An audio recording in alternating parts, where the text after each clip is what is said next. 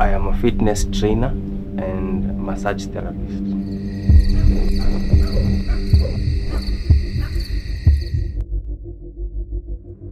When I'm when I'm working out, I know kila siku niko na some goals of making my body look more fit every day. Uki, ukicombine hiyo yote uko strong, you know that you have the confidence of doing whatever you want to do. My craft has uh, made me grow hata in my social life and uh, even mentally. Massage will come later, whereby I wanted more income I want a full massage, but I want you to concentrate on my shoulders.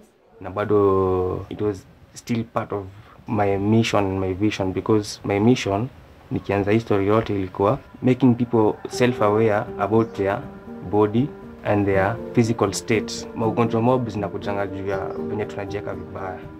How i feel when i'm doing this uh, is a feeling that i don't think even words can explain. An example when i'm doing massage to someone huyu msee anaexpect akitoka kwangu atoke different. Na for me kama it's, it's making the person feel better kwangu inakoga great joy sababu eh, umse atarudi tena. Kwa hii job pia kuna challenges.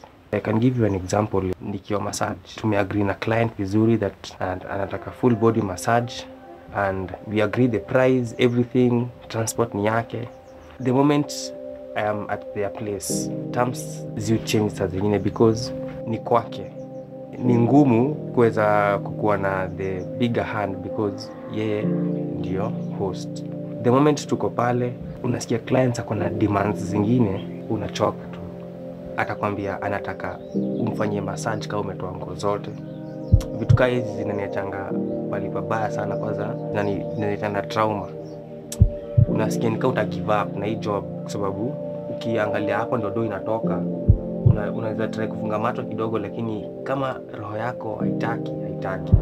Eh, ni hard ni hard.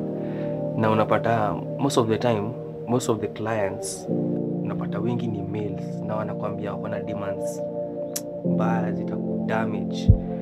Just looking hata the price yenye amekupea hiyo ndo amekwambia bado inakudamage wanaona kama ni kama anakusaidia unabaki kao unajiuliza do i really need to do this? Ama should i stop? It's not an easy road. Since naona inakuwa ngumu nikiwa sober the moment nimerudi home nataka kurelax inabidi nimetumia kitu ya kuniondoa kwa reality. Ni sao zile vitu zenye zimenihapenia in a day.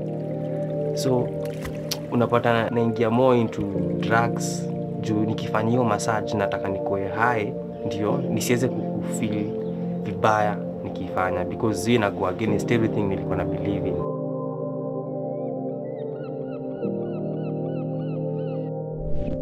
So i do this because i want to provide for my son.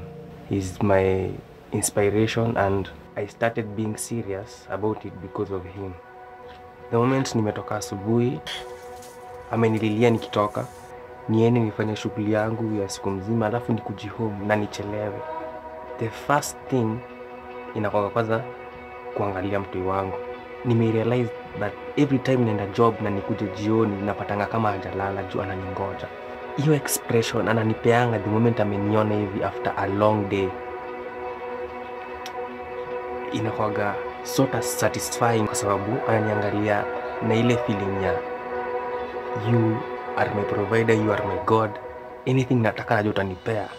Kwa sababu ni mimi tu anajua na hiyo inakuwaga so emotional for me hizo time. Na napatanga moments kama hizo oftenly anytime tumeachana na for some time alafu tupatane so nitasema sema my son is my greatest motivation.